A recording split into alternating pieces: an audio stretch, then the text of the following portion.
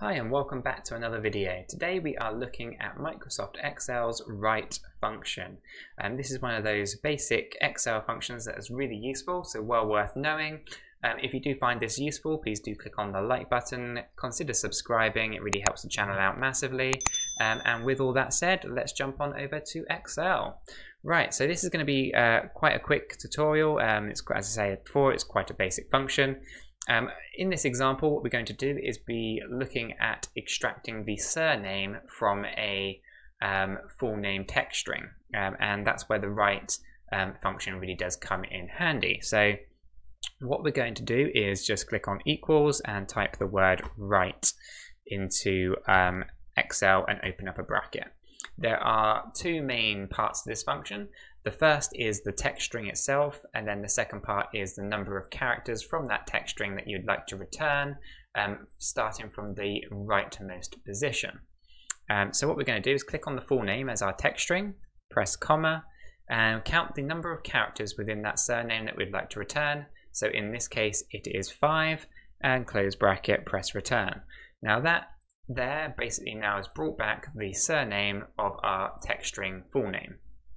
Um, the problem that we have is when we start to pull this down, if any of these surnames is um, longer than five characters, then this formula starts to break. So we'd want to actually do is calculate out the start position of our um, last name, our surname, and then count the characters from there. So the easiest way to do this is to um, take a dynamic approach to the function. So what we want to do is actually use the find function to find the second um, space within our full name. So what we're going to do is equal find. I'm just going to type this out over here so we can look at the function independently of the, the right function for a second. We're going to be looking for a space within the text um, full name here um, and we're going to close that off and press enter, right? So in this example here, we can see that the very first space we have in our full name is the ninth character in that text string. Okay, so what we want to do is actually plus one. Okay, so that now gets us number 10. Number 10 is the starting position of our middle name. From here, we can then wrap this in another find function that then uses this find as the start position and that will allow us to find the second um, space within the, the name. Um, and so what I mean by that is if we go equals find, we're looking for a space, um, we're looking for that space within our text string here, and our start position, which is the third part of this function, is the original find that we just wrote out. Um, so if I press um, return on that, we can see that 14 returns the position of the second space. Okay, um, so what we have to do here to write this out properly um, for a, a, third time here is equals find. Uh, we're looking for the space within our text and the number of characters is a find. Find the space within the text here. Um, then we want to plus one like we did before because we don't want to um, return it's a plus one. Um, we don't want to return the uh, the space itself because if your starting position is what you're looking for you're only ever going to return the, the starting position. Um, we want to be looking for uh, any space after the original space that has been found. Okay um, and then close that off press enter that shows 14 okay so this first function here finds the very first space within our full name. This function shows us the, or well, this one, shows us the um, second space within the full name. And then what you have to do in order to return the number of characters that you're looking for from the right is now count total number of characters in your text string minus this. Okay, so if we use the equals len, which the len function, all it does is counts the number of characters in a text string, so any has one part. Um, so total length is 19, and that last um, uh, space is 14, the difference uh, is the length of the characters. So what we end up doing is just within this function here, um, typing in len of this minus the original, which gives us the 5, um, which is the length of the surname. Okay, now that's quite a lot going on there, um, but it is quite basic, so I can write that out within the right formula in a moment.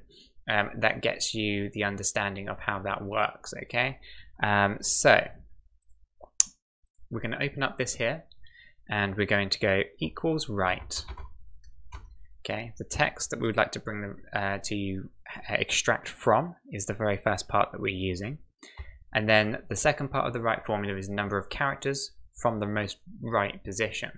Okay, in order to get this, we're going to start by typing len. So we want the length of our text character, uh, of our text string. Okay, and we want to minus the find a space within our text string okay a comma um, gets us the start position of that find which is the first find of the um, very first space within the text string. Okay um, that one there. Um, and then we close that one off and we go plus one because we want to um, the start position to be the J in this scenario not the actual space.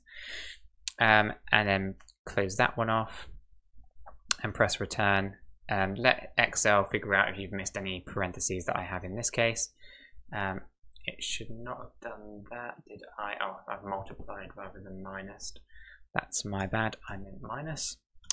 Uh, and there we go. So if we just dissect this down a little bit, our right formula is the text string that we're trying to dissect, and then our length of our text string minus the um, finding of the second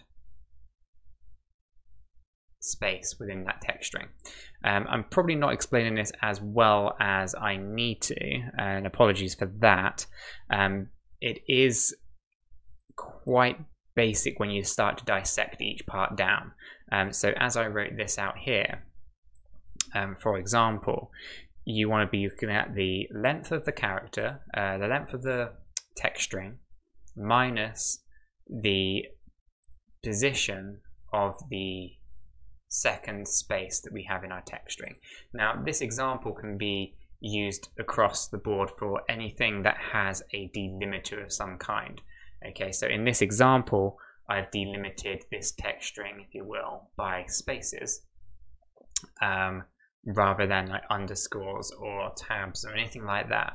Um, and there are other ways you can do this. In this example here, where um, we're trying to extract the first, the middle, and the last name, I could just grab these, copy them down here for a second, and actually just go over to the data tab and go text to columns, delimited, next, go to other, and actually put a space in there and just click finish. Now that's automatically just done it for me anyway. Um, there are many ways you can approach each um, scenario, and no one way is right and no one way is wrong. You've got to find whichever way works for you.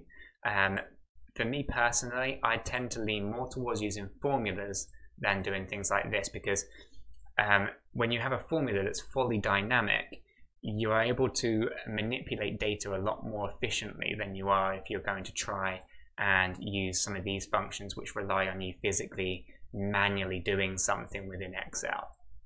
Um, but hopefully you guys found this useful. If you need me to cover anything off in more detail or, uh, or want more specifics around it, sort of drop some notes in the comments below um, and I'll try to recover them um, in uh, future videos and try to maybe help out uh, in the comment sections as well, just to kind of get across how these functions work. Um, but hopefully guys you did find this useful. If you did, please tap the like button, hit subscribe. Um, as I said before, it helps the channel out massively. Um, and I will catch you guys in the next video.